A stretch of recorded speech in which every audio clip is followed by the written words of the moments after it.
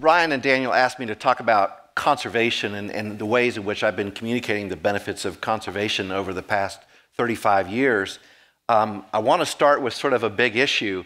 Uh, the biosphere is the only zone of life that we know to exist in the universe. Now, that's not new news. We've known that for a while. Um, has it modified human behavior?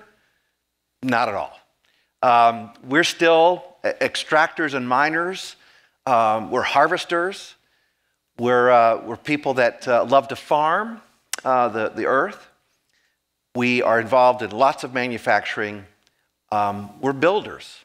And in fact, our word cloud this morning, the dominant word in the word cloud was development. That's how we're oriented. To conserve and save green space and ecology, unfortunately, it's just not, it's not second nature. With the exception of Jack, who's done a great job of conserving a huge chunk of real estate here in California.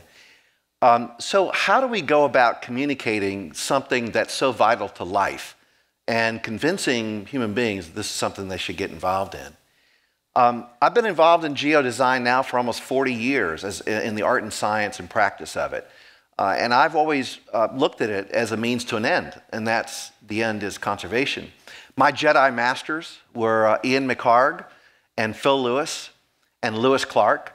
Um, I'm sure you probably heard of the first two. Lewis was my professor and my first employer, and uh, Ian McHarg credit, credits him with uh, introducing him to the overlay method um, that was so vital in Design with Nature. And Design with Nature was my, my Bible. Um, and when I think about the use of geodesign over, over this period of time, to me, the power of geodesign isn't in the data, it isn't in the data collection, it isn't even, even how we analyze the data or map it. Uh, it's how we communicate all this complex information to the public. And I think Devin gave us a great example of that in his presentation this morning the ability to communicate something that a city council could really understand.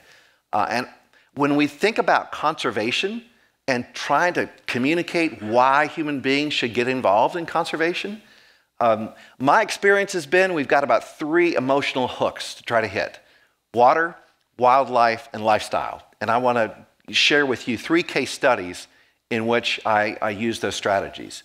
The first is the Ann Springs Close Greenway. This is a greenway about 20 minutes south of downtown Charlotte, North Carolina. It's part of a 7,000 acre estate in which the 2,000 acres was, 2,100 acres was proposed for conservation. And that was, you know, pretty controversial at the time. This was back in 1991, 1992. Um, my client, uh, Ann Springs Close, this is how she always knew the landscape. She's about 96 years old today. She's always known the landscape in the whole. And so the strategy of geodesign in this particular uh, example was to actually deconstruct the landscape that she knew and loved so well, and begin to reveal essentially the geographic buckets, the different types of layers of the geography that she knew, but she didn't understand, you know, the, the significance of each of those independently. So the most important was the watersheds and subwatersheds, the riparian corridors.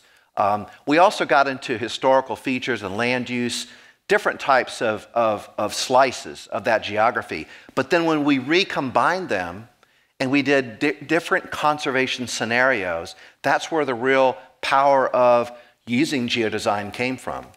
And it eventually got us to a strategy for how to conserve this 2,100 acres of land and make it something that was actionable and, and would satisfy the needs of the client. This is turned into Central Park in this part of, of, of South Carolina. It's three and a half times the Central Park, uh, the size of Central Park in New York, um, but it serves as Central Park. The, the area around it is completely developed, and it's really the most valuable uh, landscape. So, what were the conservation benefits that we communicated? The most important was the Steele Creek watershed. That was the keystone uh, ecosystem of this land. But we also looked at the ability to celebrate land and culture uh, talk about the experience of place, balance conservation with public use. My favorite uh, sort of saying form follows function, let the land dictate the design program, and provide a living, laboratory for future generations. Today, this greenway is actively used, it's actively programmed, um, but its, its real hallmark is conservation. Its real hallmark is that we laid out a 100 year vision that will outlive us and will be there for future generations to enjoy. A different example altogether, I was challenged, uh, Charleston County, South Carolina, the voters of Charleston County, South Carolina passed a half cent sales tax uh, in part to do conservation. And uh, they, they passed this without a plan. So I was contacted by uh, Charleston County. They said, Can you author a green space plan from a sentence and a ballot initiative? Uh, so that was our challenge uh, going into it. In, and by the way, in 10 months. um, and so I had been working in green prints and green space plans all across the country, and I came up with this analogy because I realized that communicating this to the public was challenging. So I said, just as we would not think about building a house without a blueprint, we should not continue to grow our communities without a green print. We should have a conversation about the landscapes that people love and cherish in all of our communities before we decide to do a growth and development plan. But honestly, as I have scoured through tons and tons of comprehensive land use plans across the country, what do you find? You find mining, extraction, development, manufacturing, building. It's all about development. There is no provision in comprehensive plans historically uh, for green space conservation. Um, so it's a real challenge. And even trying to connect, because they had just gone through a comprehensive plan update in Charleston County, with conservation was very difficult. The hook that I found with, with many of them was that they really cherished the low country life. The lifestyle was the real key. And we looked at the distribution of green space. Um, most of the green space that you're seeing on this map was done by federal and state initiative, very little by local conservation strategies. Uh, and it was about 160,000 acres in a county of about 600,000 acres. Um, the county is one of the fastest growing in South Carolina. And we had to start someplace. So we started with a, a vision that we felt would resonate with the residents. And it was cities and villages surrounded by green. So we asked them to picture that, and that's how they identified the, the landscapes that they wanted to live in. And building from that vision, uh, we always employ a hub and spoke strategy, which you've heard in a different context today, but this is about the uh, ecological systems and connecting large landscapes uh, with corridors uh, to make them all work and be valuable. I set out a strategy of trying to preserve 30% of Charleston County's uh, total real estate, 30% of the 600,000 acres, roughly 200,000 acres which meant that we had a goal of 40,000 acres to protect as the sales tax was being collected over 25 years. Um, a pretty ambitious goal, really. And we divided those, that 40,000 acre bucket into six different geographies. Uh, and so I'm going to run through those really quickly and talk about the strategy. The largest bucket was rural greenbelt, rural greenbelt lands, and that was six, over 16,000 acres. Um, they're productive lands, they're cultural sites, they're village parks, they provide waterway access. This was essentially the GIS layer that we constructed to say this is the targeted zone uh, for that type of acquisition. The other was another one was Francis Marion Forest. This is the largest intact forest system, which gave us a chance to talk about interior species conservation, and that's over 10,000 acres. And the goal here was to uh, uh, basically go after those purple-colored parcels. Those are inholdings within Francis Marion Forest. We now know that uh, federal protection of wetlands doesn't do you much good. Uh, we knew this back then, and we encouraged Charleston County to aggressively go out and buy wetlands for the same reason that Christy talked about uh, at Cape Cod. This is to protect from rising sea levels and storm surge and hurricanes, which were a frequent occurrence in Charleston County. And this was our layer for that, where that target zone was going to be. Uh, the regional parks, this is really addressing sort of the lifestyle human element. Uh, the PRC, the, the, the, county park agency, wanted to attract uh, and build about 5,000 acres of parkland. So we, we looked at that as well. And then, interestingly, where most of the people lived that voted on this ballot measure were in urban areas. And we targeted about 2,000 acres of land uh, for conservation and uh, transition into parkland there. Um, and this was the target area for that. And then the final thing that we did was propose a 200 mile greenway system, about 1,200 acres in total, that would knit all these areas together. So, in essence, our geodesign sort of sketch plan for the county, this, this crude illustration, represents what we were trying to accomplish. The conservation benefits that we were able to really define was improving access. Again, this lifestyle act issue. Conservation equals climate action. uh, that addressed more environmental issues, accelerating conservation to match the pace of land development, and protecting that low country lifestyle that so many people in the county uh, really identify with.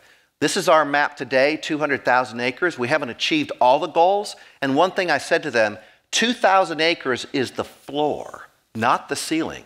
Now you've reached the starting point, so keep going. Um, and they are. Uh, we, we really exceeded all the expectations for this program. It's a 25 year sales tax, but they achieved it in 11 years. Um, and on top of that, when you talk about how effective were you in communicating these benefits, while they're still in the process of collecting the first sales tax, they passed another sales tax in 2017. So there's a total of $430 million now dedicated to green space conservation in Charleston County. And really, that's pretty remarkable. We took these uh, strategies and went out to Northwest Arkansas. We were invited by the Walton Family Foundation and the Northwest Arkansas Planning Commission to work with them to do a regional growth uh, plan uh, for Northwest Arkansas. This is one of the fastest growing regions in America, home to three Fortune 500 companies. And their slogan, very Midwest slogan, I'm from the Midwest, let's conserve some country as we grow. Um, so, you know, really connecting with people is, is so critical. And that was the first step. We, always the first step for us is engagement. And we don't limit those engagements to just the technological, the data collection, and the data analysis. We're in the field. We're talking to the farmers. We're talking to landowners. We're trying to figure out where is the grounding? Where is the sort of the, the, the bottom line on all of this as we go through it? Um, and we developed uh, the traditional, what I now know is the traditional sort of GIS layers to begin to analyze it. But here we worked with the community to come up with a scoring system based on what they identified as being the most important conservation initiatives. We developed a five point scoring system and we incorporated our hub and spokes framework. Now it looks a little bit different. It looks like Christie's map, core and corridors a little adaptation there. And as you can see, we're beginning to get McHargian here. As the colors get darker, we're beginning to understand those are the areas that we want to focus on. So as we combined all that together, uh, we get a priority open space map. This is where we want you to start focusing your efforts doing targeted acquisition to get the most benefit out of, out of conservation in your community. And by, by and large, it's worked. We were able to connect people with the fact that watershed protection equals clean water supply, that rural agricultural lifestyle would be protected, that we're going to attempt to balance that growth with conservation, create more accessible outdoor spaces, increase awareness of native ecosystems, and protect wildlife habitats. So, there we check those three boxes water, wildlife, and lifestyle. Um, and they've been, out, they've been out really accomplishing great things. Uh, when I was talking to Ryan Daniel, they said, Do you have examples of where things didn't work out the way you wanted them to? This was one. We could not convince the Benton County Commission to provide us the fuel, the sales tax, uh, and, and the money that would be necessary to go out and really compete in the private real estate market to protect open space. So it's unfortunate, but they're making, they're making inroads. They're doing protecting working lands. Um, they're building a phenomenal uh, greenway system, which now totals about 400 miles. And it's more than just trails, it's also about conservation of, of native landscapes. But this might be the greatest victory of all. Here's Walmart, a Fortune 500 uh, company, going to build a brand new corporate campus. The first time that they've built a corporate campus in many, many decades. And they're building at the, at the intersection of two urban greenways which I don't think would have ever happened prior to them going through this entire process and understanding the value of conservation. And it's their goal that their 11,000 corporate employees will walk and bike to work on this interconnected system of greenways and conserved corridors. So I think that's a great victory for us uh, in Northwest Arkansas. So maybe like many other people you've heard, I'm sort of out there, you know, beating the drum. It's a call to action. Um, certainly, I think one of the greatest challenges for geodesign going forward is how do we take what we can do at small, at the small scale, you know, relatively small scale, um, in communities and begin to extrapolate this across the entire United States. And I, I give Jack and Esri uh, just incredible uh, kudos for all the great work that they're doing in this space because what they're doing is they're creating the tools and, and, and, the, and the power to actually take this challenge on. Um, this is actually not a new idea.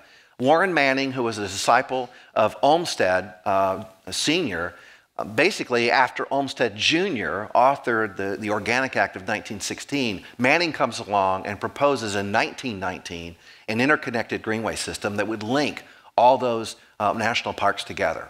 So, this is really a vision that's about 100 years old. We took sort of a half step in that direction as a country when Lyndon Johnson uh, uh, basically signed into law the National Trail System Act.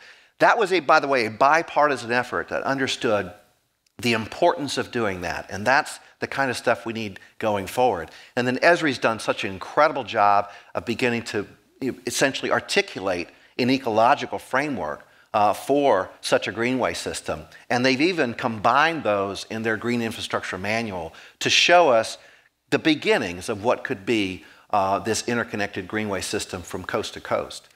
And we also have, I think, a really great model to, to look at, at least in the way it's been conceptually framed. And that's uh, Florida's uh, greenway system and green infrastructure system uh, up and down the peninsula. Um, this is the Florida Wildlife Corridor, which I know Esri's also been involved in. And uh, this is sort of a, what I would see as a model. If we could get all of the lower 48 states to go through this exact same type of planning process, we would have this incredible interconnected greenway system, a geneway system that would be so impactful uh, for this country. Um, and we would set a model for what the rest of the world can do. Um, I have come out with a new book. All these case studies are in that book. Uh, and the last chapter is devoted to the creation of this national greenway system. And it talks about a conservation ethic, uh, the, the need for greenways as geneways, uh, addressing public health, safety, and welfare concerns, and expanding the experience economy. Um, and I'll close with this. I, there's been a lot of talk about what is this conservation movement really all about? Oh, well, we're out to save the planet. Well, we're not out to save the planet.